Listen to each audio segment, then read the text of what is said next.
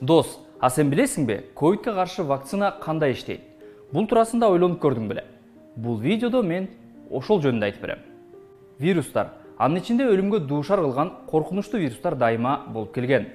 Алардан коргонуп жана өзүн куткаруу үчүн адамзатты вакцина ойлоп табуу менен алек мындай вакциналардын бири ковид же коронавируска каршы вакцина. Вирус мисалы коронавирус. Адамдын организмине түшкөндө ооруну козгой турган антиген иштеп чыгат.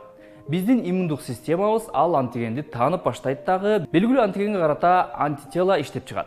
Антитело вирусту жок кылат. Бул биздин организмди коргой турган жоокерлер. Бирок антитело иштеп чыгыш үчүн биздин организмге убакыт керек. А эгер иммунитет начар болсо оору күчөп кетиши мүмкүн.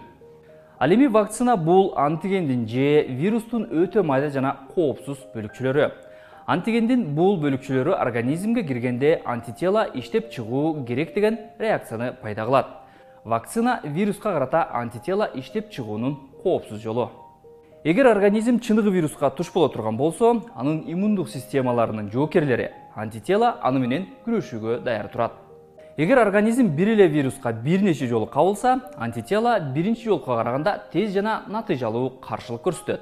Анткени эс тутум клеткалары ал белгилүү вируска каршы антитело иштеп чыкканга даяр болуп калат. Бул эгер адам келечекте кооптуу вируска кабыла турган болсо анын иммундук системасы тезинен аны бул оорудан коргоого алы жетет. Ошондуктан ковид он тогузга каршы вакцинаны белгилүү бир убакыт аралыгында бир нече жолу алышат. Көптөр дозада алышкан жана алып жатышат. Бул узак убакытта жашай турган антитело жана эс тутум клеткаларын пайда кылуу үчүн зарыл. Сен эмдөөдөн өтө элексиң бе анда азыр барып дароо вакцина ал мен болсо өз бустеримди алганы баратам